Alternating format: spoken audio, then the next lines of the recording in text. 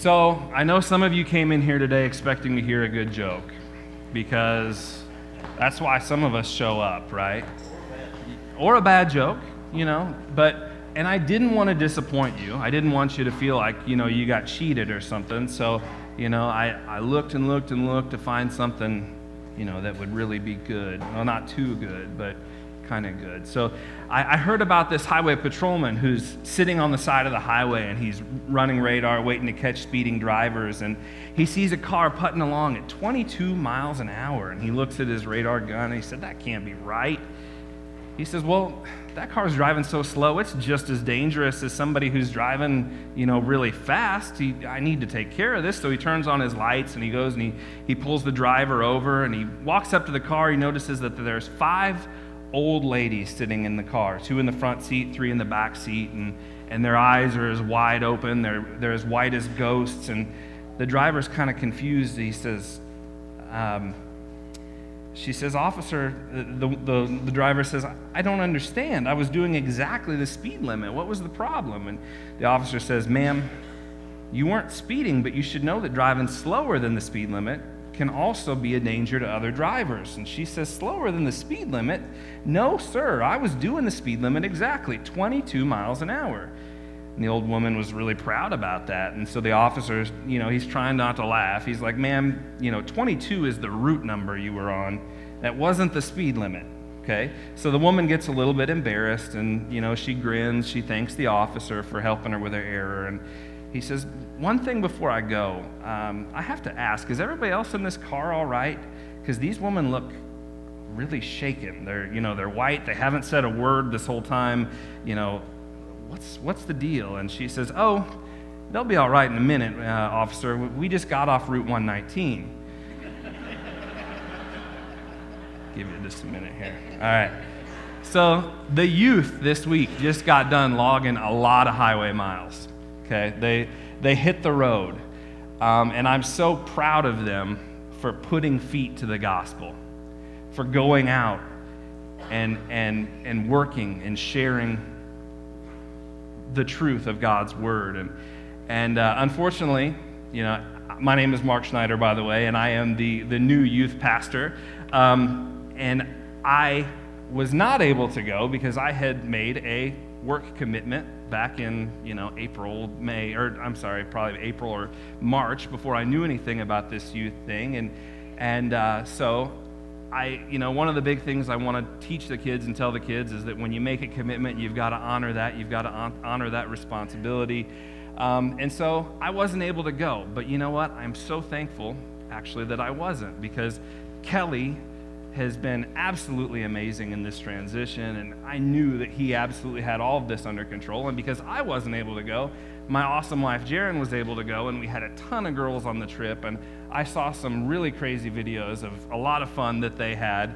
Um, and so it was, it was just a blessing to see, to, to wait for the, the messages every night and to see, you know, just all the awesome things that God was doing. And, and uh, you know, we, we survived. I had both kids with a lot of help with the grandmas. We made it through the week, and uh, the house is still up, and they even had clean clothes when Jaren got back home on uh, Friday night. So I'm calling that a victory in my book. So, um, but man, we're proud of them. And in fact, um, next week, Kelly's going to have just some video from, from their experience and some of their, their testimonies. And um, with the help of Tyler, and that's going to be really, really powerful. I can't wait to see that. So make sure that you're here next week.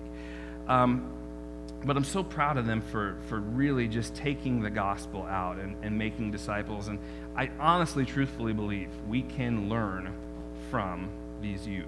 I learn something from them every single week, and, and I'm not just saying that. There is a wisdom there and a fire and a passion there that is so incredibly exciting. Um, so, if you will, go ahead and open up your Bibles to me for me uh, to Philippians chapter 1. Philippians chapter 1. Now, I know Brent has said this before, and I would say the same thing. Uh, if I had one desire for Life Point's body, if its church body, it would be that, that we would do whatever it takes to spread the gospel. Out of Chillicothe, out of our community, into other areas, all the way to the corners of the world. And as a Christian, that's, that's kind of what we've been asked to do. That's what we've been called to do. Most of you have probably heard of the story of a guy named Jim Elliot. On October 28, 1949, he was writing in his journal, and he wrote something that you know has been kind of a rallying cry for the Christian church for years and years. He said, He is no fool who gives what he cannot keep to gain what he cannot lose. He is no fool who gives up what he cannot keep to gain that which he cannot lose. Now, he didn't know when he wrote that, that just a few short years later, in January of 1956, that, that he would actually experience a really violent death trying to spread the gospel uh, to uh, a native people tr- tribe uh, called the Huaorani tribe in Ecuador, along with uh, some fellow missionaries, Ed McCully, Roger Youderian, Pete Fleming, and their pilot, Nate Saint. And most of you probably know his story. You know about his death. You probably, you may know about his wife, Elizabeth Elliot, and her impact on missions. But what makes this story so powerful isn't just that quote.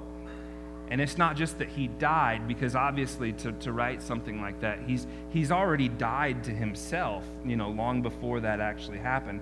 And it's not just that God used that story to propel and advance the gospel the, the real powerful thing I believe in that story, the message of Christ's love will not stop. It cannot be killed. Because these men's families, what they decided to do is they packed up and they moved into that same indigenous people group. And they loved them and they shared the gospel with them.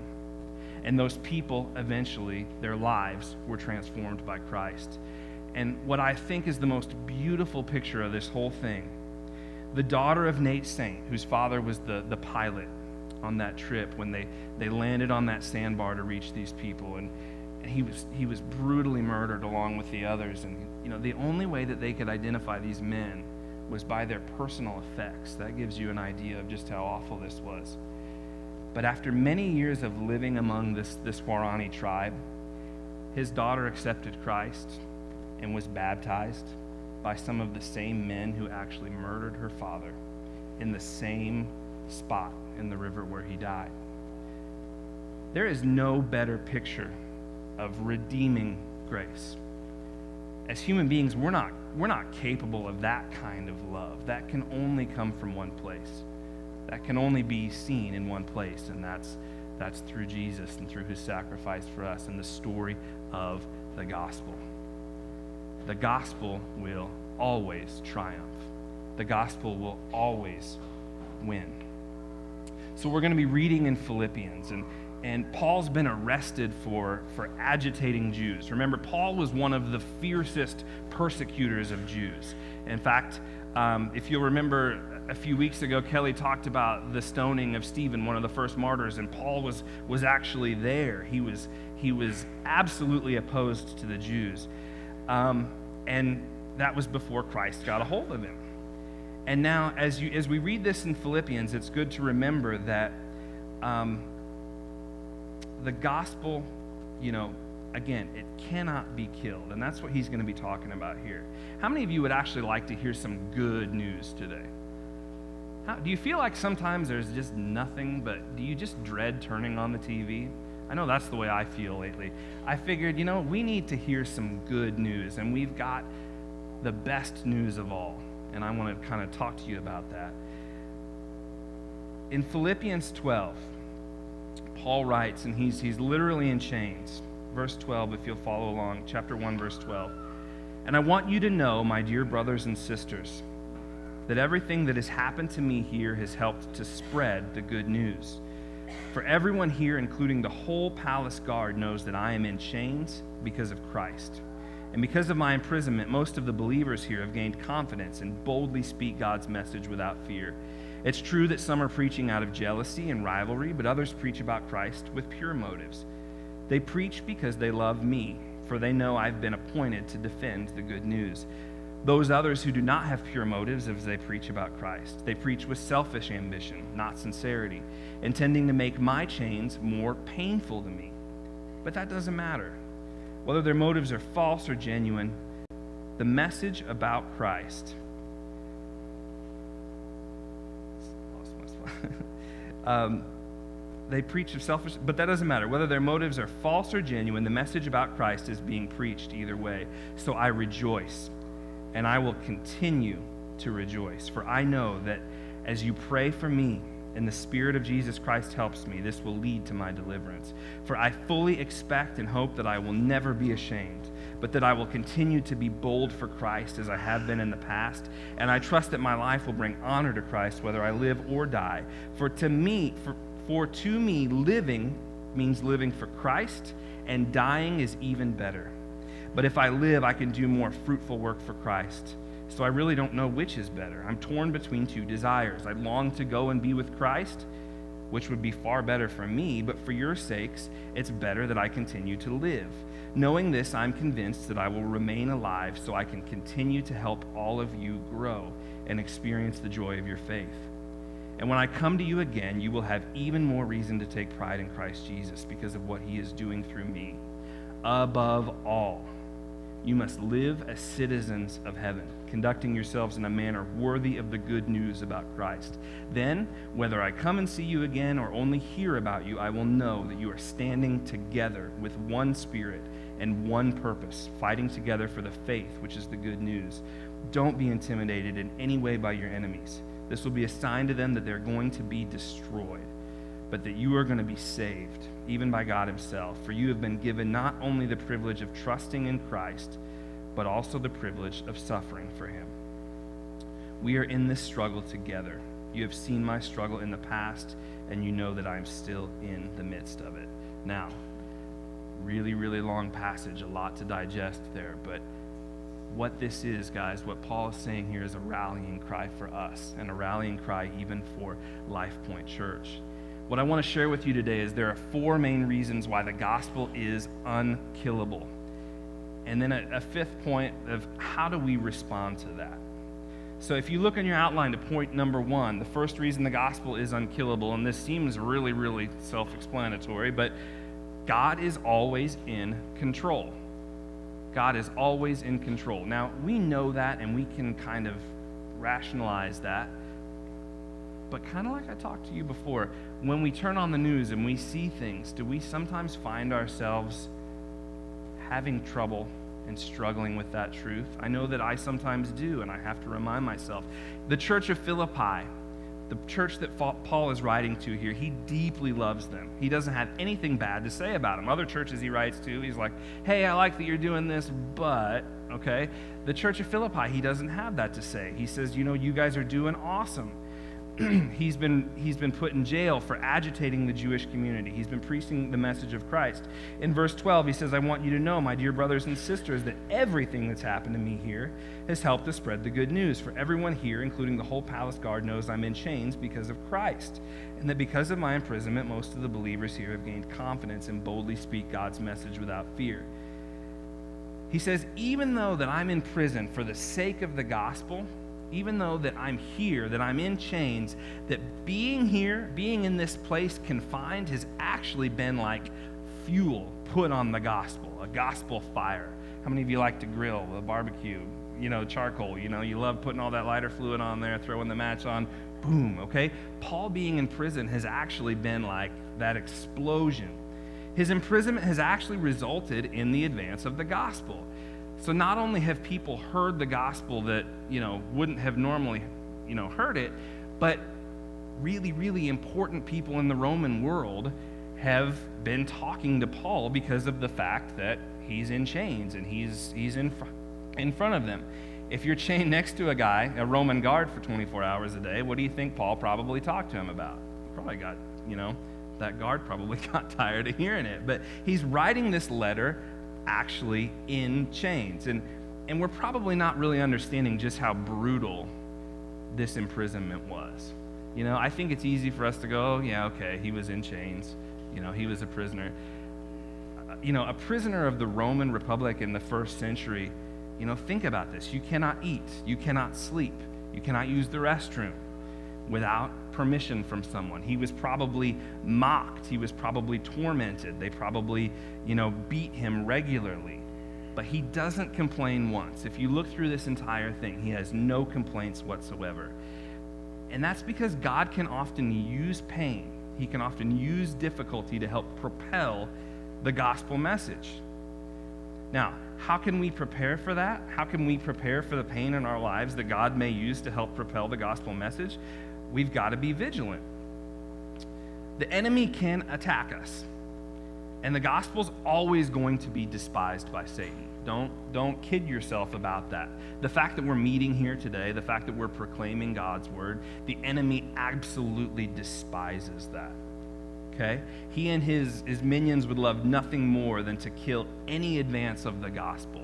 Because when they see the gospel flourishing and growing, it's just a, foretaste to them of what's eventually going to come when Christ you know, casts them into the lake of fire. It shows their destruction. It gives them an idea of what's coming.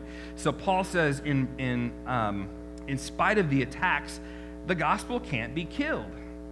So in Second Corinthians, in another his letter to the Corinthians, Paul at another time says, This is why for Christ's sake I delight in my weakness. I delight in insults. I delight in hardship.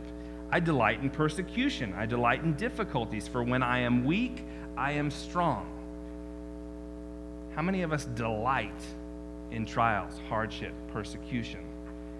It's a really, really tough thing to try to grasp, but we have to remember we don't get to kind of play this whole woe is me, you know, viewpoint and theology.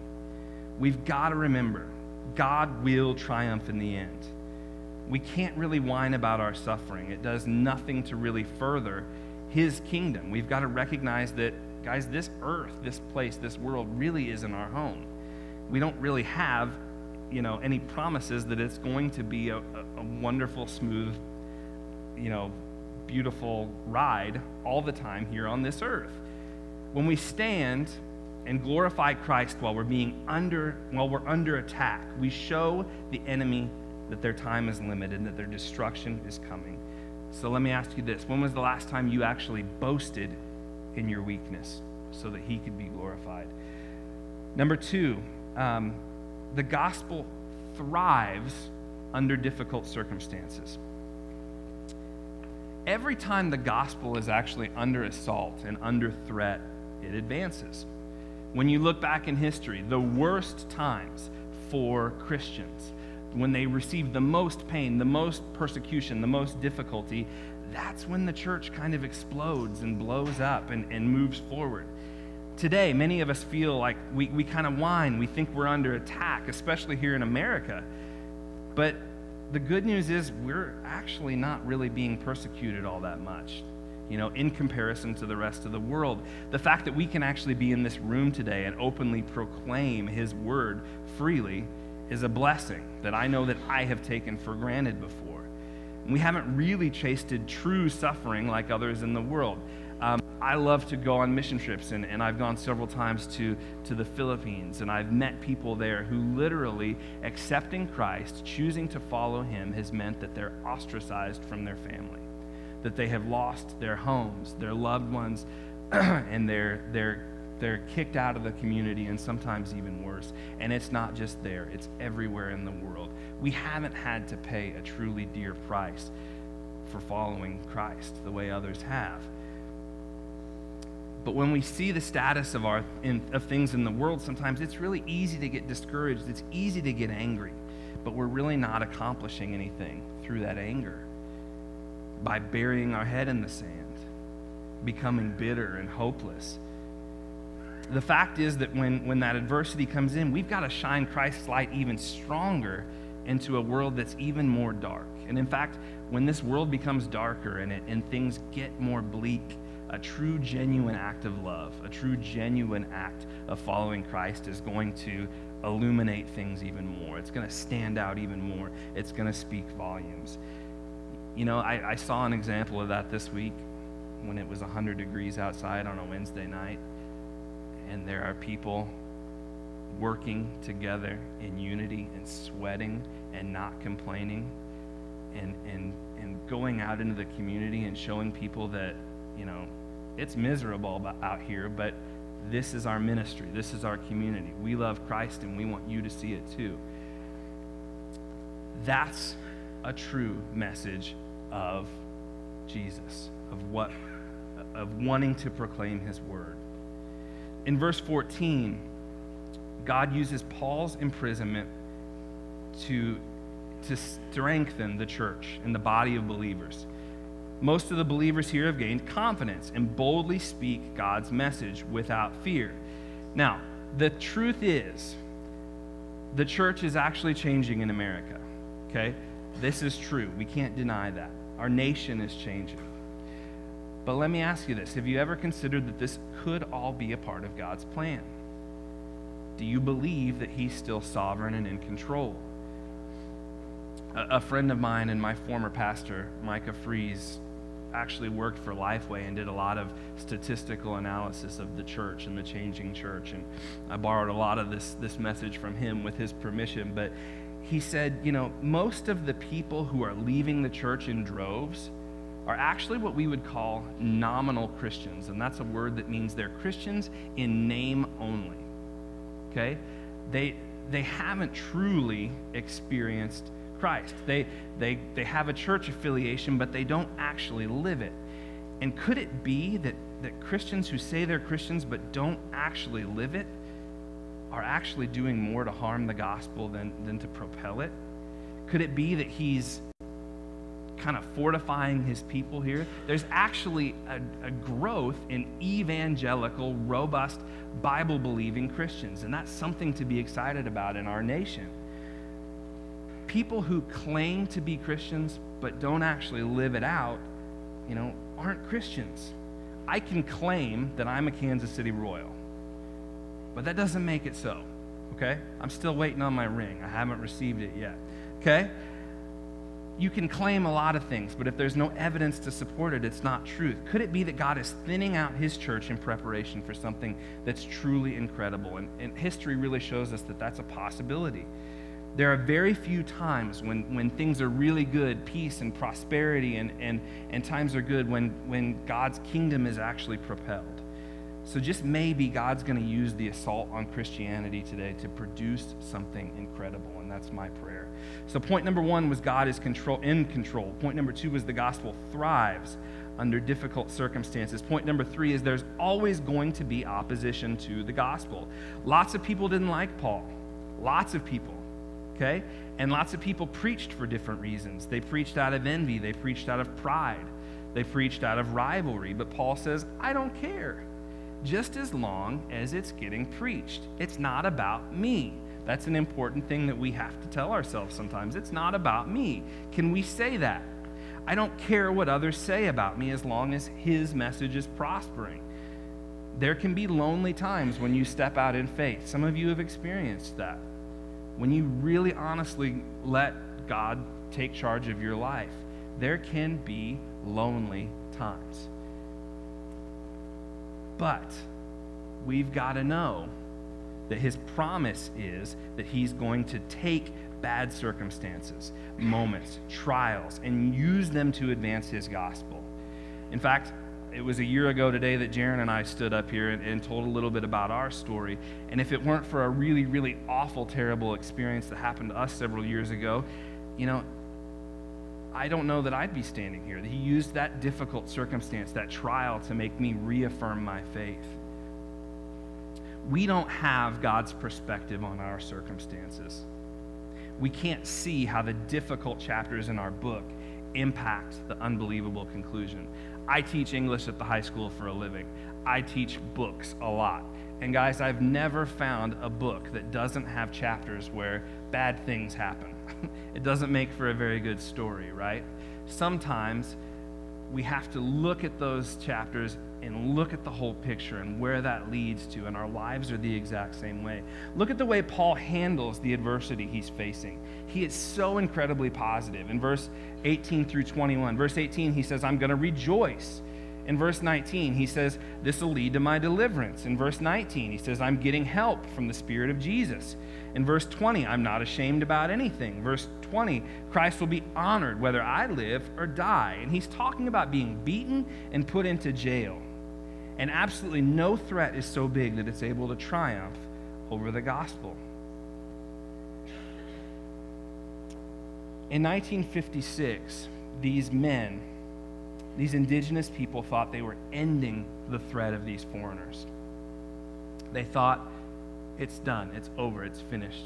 They won't be back, and we can continue on with our lives. But it wasn't the end, it was just the beginning of what God had planned. Of the of the 11 the 12 disciples obviously Judas betrayed Christ but did you know that 10 out of the 11 remaining disciples were actually martyred meaning they gave their lives for their faith. In fact Peter requested to be crucified upside down because he didn't feel he was worthy of dying in the same way Christ did. And John the one guy who did survive was exiled to an island to live and die alone. Every time one of them was removed five, ten, a 100 would pop up in their place. And we have to kind of be wary of this prosperity gospel where, you know, it tells us that everything's, you know, just a matter of faith and things will always work out wonderfully. Can I tell you, you don't really want your best life now. Okay? You don't want your best life now. You want your best life in eternity. Okay? If it was okay for the disciples to suffer, why do we expect any differently? The leaders then wanted to snuff out the gospel. They wanted to kill it in its infancy. And it started with Jesus. He was a rebel, he was a threat to the establishment. He said things that other people, you know, despised. And so they thought, we'll get rid of this threat. And so they took those nine inch long nails and they drove them through his wrists and through his feet. And they, they jabbed the two inch thorns into his head, and as the blood trickled down on his face, and his shredded back hung from that, that cat of nine tails whip, and they, they put him up on that cross and they mocked him. And, you know, in a first century Roman kind of way, they were rejoicing in the fact that they said, It's done, it's finished. We took care of it. We don't have to deal with that anymore. Wouldn't you have loved to see their faces? as the ground shook and darkness came over and the veil was torn and Jesus killed death once and for all and he rose three days later. You can try to kill the gospel, but it cannot be killed. And it could be that maybe God is preparing this place for another great movement of his spirit. So, our final point, point number four the gospel is much bigger than you or me. Paul actually wants to go home. He's disappointed that he's, and by home I mean he wants to go be with Jesus. He's actually disappointed he's got more work to do. In verse 23, he says, I'm torn between two desires. I long to go and be with Christ, which would be far better for me. But for your sakes, it's better that I continue to live. Knowing this, I'm convinced I will remain alive so that I continue to help all of you grow and experience the joy of your faith. He makes sacrifices for the sake of his fellow believers, he takes responsibility for their well being. Guys, can I tell you that your leaders are actually deeply flawed, sinful people, especially me? Okay? We're just, we're just people, we're just human beings, but, but in God's economy, God has chosen you and He's chosen me, these flawed people, to help advance the gospel. Uh, a quote that I, I, I read that I think is really great is that all of man's work is actually God's work through man. By the grace of God alone, you know, we hold people in the Bible up on a pedestal. But if you look at the people in the Bible, did God use any perfect people to really do anything other than Christ? If, if you look back, and I'm sure you've heard this before, Noah was a drunk, Abraham was too old, Isaac was a daydreamer, Jacob was a liar, Leah was ugly, Joseph was abused, Moses had a stuttering problem, Gideon was afraid, Samson had long hair and was a womanizer, Rahab was a prostitute, Jeremiah was too young, David was an adulterer, not to mention a murderer, Elijah was suicidal, Jonah ran from God, Naomi was a widow. Job went bankrupt. John the Baptist ate bugs. Andrew lived in the shadow of his big brother. Peter denied Christ. All the disciples fell asleep while praying and ran away when Jesus really needed them. Martha worried about everything. The Samaritan woman was divorced more than once. Mary Magdalene was demon possessed. Zacchaeus was too small. Timothy had an ulcer. Paul was a Christian killer. Oh, and Lazarus, Lazarus was dead. Did we cover every excuse that maybe we have of why we can't serve God and why He can't use us? Guys, the gospel is unkillable. I'd like to have the praise team come on up if they would. So, what should we do? What can we do in response to this? The number one thing that we can do is we can stand together and fight for the gospel, to be unified as a church body, to advance it from this place. Verse 27, Paul says, Above all, you must live as citizens of heaven, conducting yourselves in a manner worthy of the good news of Christ. This is the verse that's in your bulletin, the key verse here. Then, whether I come and see you again or I only hear about you, I will know that you're standing together with one spirit, one purpose, fighting together for the faith, which is the good news. There are lots of things in this world that we look at as measuring sticks. But can I tell you, your job is not your measuring stick. Your family name is not your measuring stick. What part of town you live in is not the measuring stick. Your status in the community is not the measuring stick. Your church affiliation is not the measuring stick. We share one common measurement standard, measuring standard, and that is the gospel. So Paul says we need to stand in unity, which is not easy to do. Most of the reasons that we become disunified are actually bogus. We have personality issues, petty disagreements. We argue about things like the color of carpet in the sanctuary. We're going to stand accountable for that one day if we destroy the church over things that really don't matter. Paul says that we have to labor together. He says, I beat my body to bring it under control.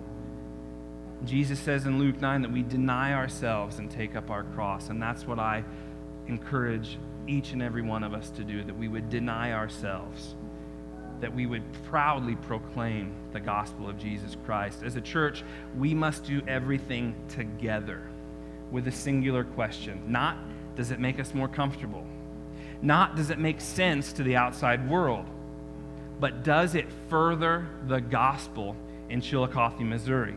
and outward? Are we creating disciples? Our suffering is for his sake. Remember the key verse. Don't be intimidated in any way by your enemies. This is going to be a sign to them that they're going to be destroyed, but that you are going to be saved even by God himself. The enemy's day is drawing to a close, guys. The gospel is at the heart of everything that we as followers of Christ believe. Not only is the gospel the good news of how we're made right with God, and some of you may, you know, maybe you don't know what, what does he mean? What is the gospel?